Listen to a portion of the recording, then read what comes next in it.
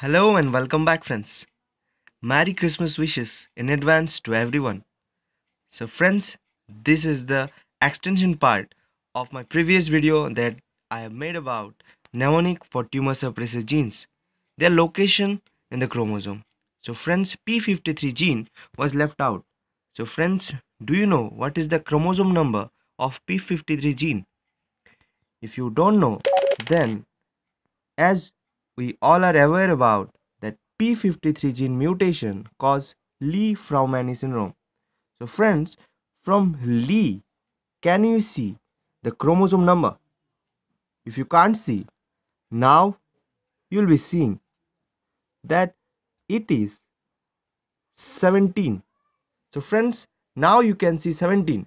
Rotate it and the mirror image looks like 17. So the P53 gene location is on 17th chromosome. Friends, keep commenting about the videos, keep commenting about medical mnemonics, and keep watching medical mnemonics. Thanks for watching.